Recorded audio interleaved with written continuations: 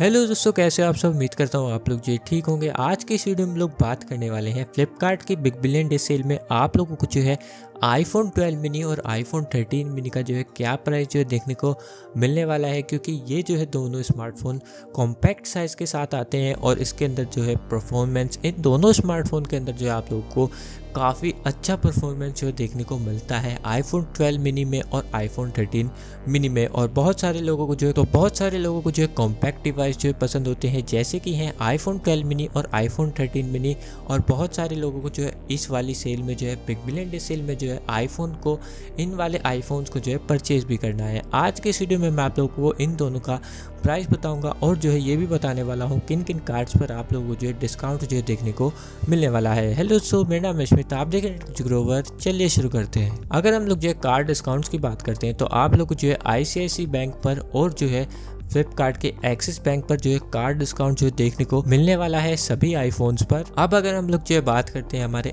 सबसे पहले iPhone 12 mini के प्राइस की तो आईफोन 12 मिनी का प्राइस आप लोगों को जो है देखने को मिलने वाला है। कुछ थर्टी के, आसपास जो है आप लोगों को आईफोन 12 मिनी जो देखने को मिलेगा इस वाली फ्लिपकार्ट की बिग बिलियन डे सेल में। और अगर हम लोग जो है आईफोन 13 मिनी की बात करते हैं तो आईफोन 13 मिनी का प्राइस आप लोगों को जो है देखने को मिलने वाला है कुछ 35 के, के आसपास जो है आप लोगों को आईफोन 13 मिनी जो है देखने को मिल जाएगा। और इतने में ही आप लोगों को जो है आईफोन 12 भी देखने को मिलेगा जिसके अंदर आप लोगों को